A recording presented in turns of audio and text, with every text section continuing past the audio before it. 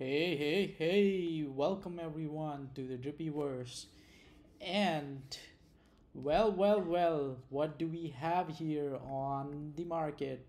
So, gonna be a quick video, short video. Let's go over some some macro and uh, let's first look at what futures are doing right now. So this is ES, uh, you know, basically uh, S&P 500 futures. We gap down today and we are currently down um, roughly around i would say uh, let's see how much down we are. Roughly around 0.4 percent which is 16.25 not that bad but uh, we are back to this demand zone here. Now let's see where do we find support. Do we find it you know do we break below this 4200 for a uh, while and then go test the 4193 and then reverse from there or do we break down further below? This will be the area i will look into buy the dip roughly around 4180 to 42 that would be way oversold in a short amount of time and uh, a lot of buyers would would dip buyers would step in around that level. So 4180 is where i'm looking at dip buying. And then for the short side i'm looking at this gap here. If it cannot fill this gap could be good area to short or around this gap on es es gap down which is kind of not that common. Usually ES does not gap down, but SPX does.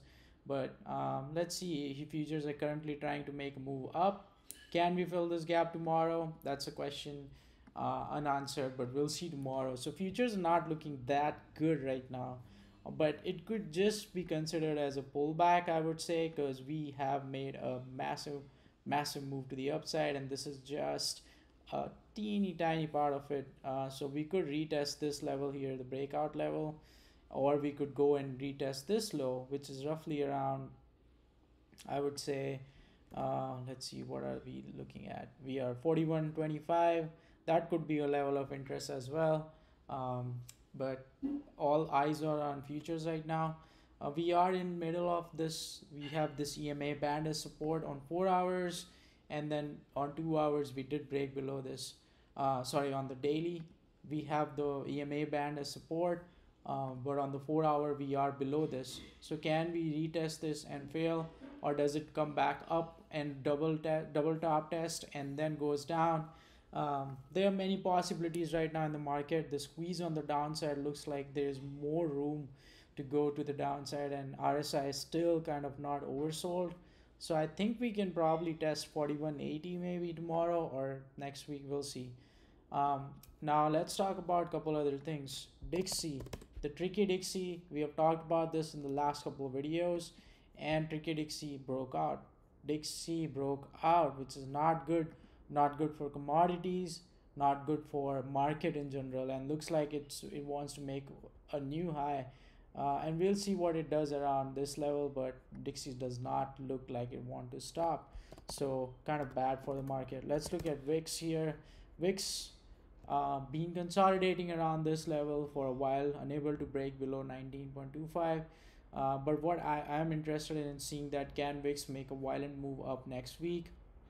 Or do we have a slow uh, slow grind up on VIX uh, usually after OPEX we have uh, you know new positions being opened and uh, on SPX contracts for next OPEX. So we probably might see VIX uh, rise up but will it continue up is the question. And then we have uh, you know a lot of events as well this week. So let's look at earnings calendar. Sorry not earnings events calendar for the market. And real quick this is market watch so um, let's look here. We have uh, you know fed national activity index not that big of a deal but then we have new home sales at 10 a.m on tuesday and then we have uh, jobless claims coming on thursday. We have pending home sales index.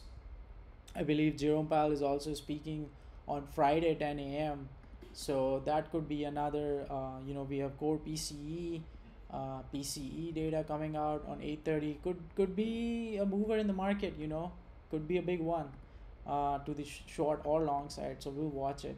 So now let's go to the some of the setups I'm watching, and uh, let's look at for the long side. Now, if the market reverses, we see some momentum to the upside. first one I'm gonna watch is Oxy.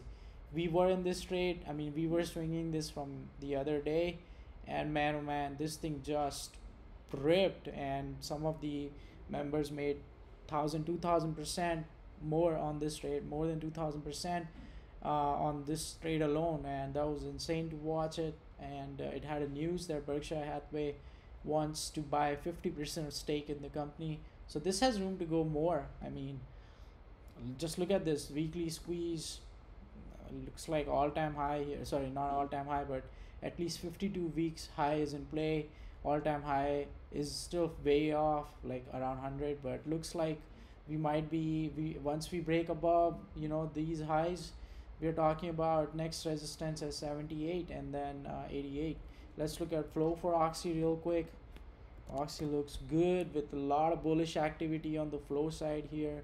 Even if we sort it just by out of money here on oxy you can see there's a lot of activity um, we have uh, so much bullish activity 72.5 calls and they're buying time but they are swinging it uh, to avoid the uh, you know the market chop so that seems like a, a better way to trade this is uh, to buy a lot of time on Oxy or just trade it intraday. So let's look at other one I'm watching is PG, uh, Procter and Gamble again short traded out of money calls here roughly around later in the day. So a lot of call activity here going on on this name. Um, let's look at the chart here of PG and uh, we had a daily squeeze fired on it uh, it's been didn't really sell off much. Uh, it's in kind of this consolidation zone. So if if we do break out above 151, I'll be looking at you know um, next level as 155. But if we break below this level, let's say tomorrow market opens, it's down, it cannot hold the support 148, then things can get nasty to the downside as well.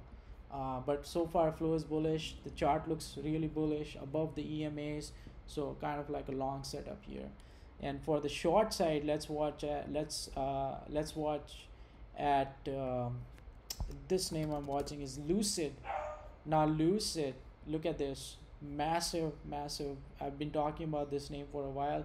It was consolidating it finally broke down here kind of like a more than average volume I would say last couple days. So a lot of room to go to the downside here on Lucid all the way till $13 could be a multi-day swing play and not a lot of volume not a lot of volume around this levels here on uh, on Lucid so let me look at this there's very thin PA here so things can get you know if it if it cannot hold these levels here things can get nasty real quick on this one.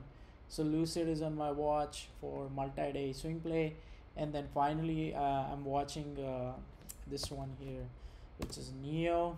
so NIO, interesting. Um, so NIO, we had this it's in a big squeeze here and also Chinese economy is not doing good. We have NIO earnings coming soon. Uh, so we'll see what happens but I mean NIO does not look good here. It kind of broke through this uh, double support area here. Uh, so bear flag breakdown and then another small bear flag breakdown. So um, you know kind of kind of very bearish in my opinion. Uh, the flow for NIO is a little bit bullish. So let's just see what happens. But in my opinion NIO chart does not look bullish to me. And if you go in the money you can see there's a lot of bearish activity on it actually. So these are buying deep in the money puts here. Excuse me. So these four are the setups i'm watching next week my top watches. And then uh, we'll see how it goes. These might update I might add some things later. But uh, so far so oxy i'm looking at you know if we break above 73.3 doubt it will happen. Uh, this week maybe we'll have a couple inside candles. It had moved it has moved a lot. So let's just watch it. There are a couple other names to keep on watch is like UAL like United Airlines did break below this level. Flow is bearish. Kind of like a bearish setup a lot of bearish setups right now. Uh, so this is also on my watch. Uh, but I like Lucid Lucid more and NIO and then we have PG and then we have Oxy. So these four are my watch list and uh, hope you guys have a great week next week and I'll catch up with you guys later